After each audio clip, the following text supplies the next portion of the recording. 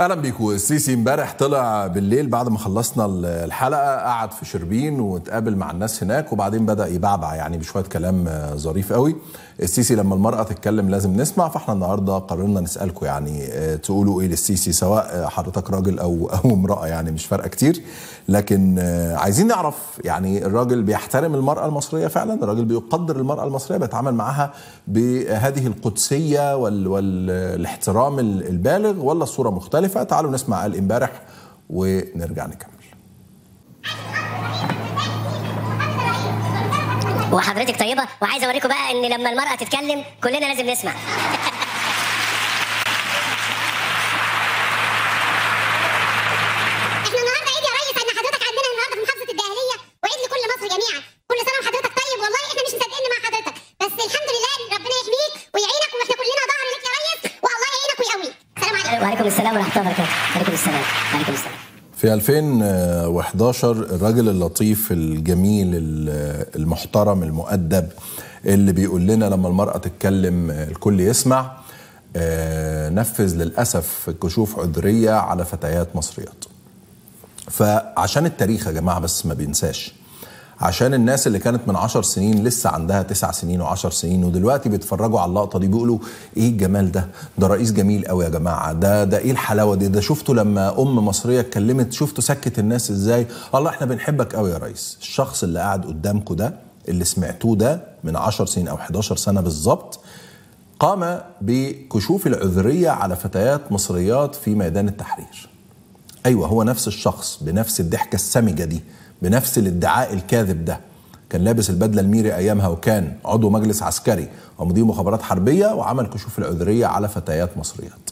بس يعني عشان الناس تبقى معانا في الصورة يعني. طيب إحنا هنعمل إيه في الفقرة دي؟ مش هنقف نقول أرقام ولا أي حاجة. إحنا هنحاول نسمع بالصوت والصورة بعض السيدات المصريات. إزاي النظام ده أو نظام السيسي ده بيتعامل معاهم؟ إزاي بيسمعهم؟ وهل الرسائل اللي بيقولها له دي هو بيسمعها ولا لا؟ وخلونا نبدأ بعائشة خيرت الشاطر المعتقلة في سجون السيسي نتابع أنت عندك كام سنة يا نور أنا عندي 12 واخويا عنده سبع سنين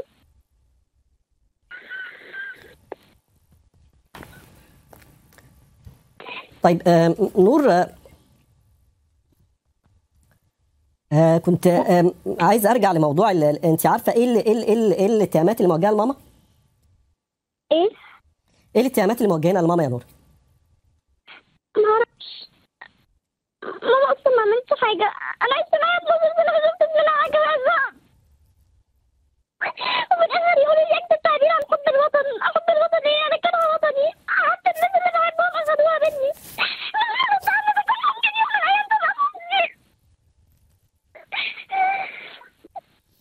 خالي اللي كان بابايا وكان حبيبي وكان كل حاجة حرموا مني واتكفلت لكن أنا مش هقدر الحقيقة الزميل أحمد طه من الناس الأساتذة في في, في الإعلام يعني. ف ويعني بيقدر يتحكم في مشاعره كويس على الهواء لكن ال الحوار ده أنا فاكره كويس مع بنت عائشة خيرت الشاطر وأنا كلمته بعدها يعني. هو ما قدرش. يعني هو ما قدرش. ما قدرش يتمالك مشاعره ودموعه مع بنت بتعيط بالشكل ده بتقول بيدوني موضوع تعبير أكتبه عن حب الوطن. أنا كارهة وطني. أنا عايزة أمي. دي بنت عائشة خيرت الشاطر في لقاء على الجزيرة مباشر مع الزميل العزيز الأستاذ أحمد طه. طيب غير عائشة خيرت الشاطر عشان هتلاقي بعض مرضى النفوس بيقول لك يا عم دول إخوان مسلمين. طيب يا سيدي ماشي. تعال نشوف اللي مش إخوان مسلمين بيتعمل فيهم إيه على لسان أذرع النظام البرلمانية. ده اللي حصل مع سناء سيف على لسان عمرو عفيفي أو عمرو درويش النائب المطرود في قمة المناخ. طيب تعالوا نروح لسيدتين مصريتين بيوجهوا رسائل لعبد الفتاح السيسي ونشوف قالوا له إيه. يا ريس يا بتاع الغلابه الحكم بتاعك يبقى إيه يعني؟ ممشيه علينا إزاي؟ هي حكم ولا بلطجة ولا إرهاب ولا إيه بالظبط؟ أنا عايز أعرف حاجة يعني أنت عملت لنا إيه؟ إيه اللي اتغير علينا؟ قصاد الكباري اللي أنت بنيتها عشان تتكتب في إنجازاتك؟ أنت هديت بيوت وشردت ناس وهجرت ناس من بيوتها؟ قصاد الكام كوبري اللي أنت فرحان بيهم اللي هيتكتب في إنجازاتك. بس وأنت بتكتب في إنجازاتك كباري عملتها وقصور في العاصمة الإدارية. هيتكتب شعب مات وكلم الزبالة. شعب جاع. دخلتنا على ثور الجياع ودلوقتي بتتكلم بتقول إيه؟ بترهبنا. لا موتنا. موتنا وخلصنا من اللي باقي في حياتنا. بس إحنا مش هنعيش في حياة شقاء بسببك وكمان أنا هنموت نفسنا ونموت كفرة. لا تعالى موتنا بقى وشيل. ولا حلال؟ حرام ولا حلال يعني؟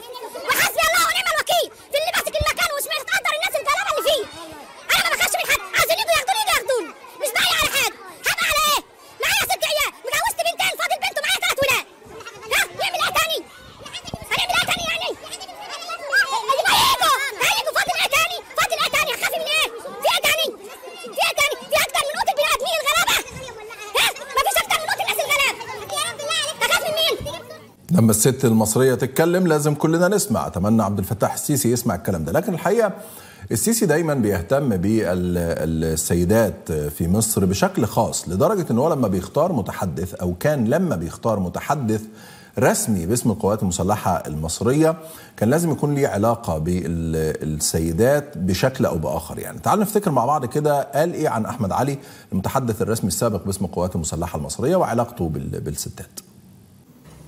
طب اللي انت بتقول عليه مقترحاتك بتاعه الإعلام عدا الشق اللي انت ليك مأخذ فيه على أحمد مش كده؟ ده أحمد علي جاذب جدا للستات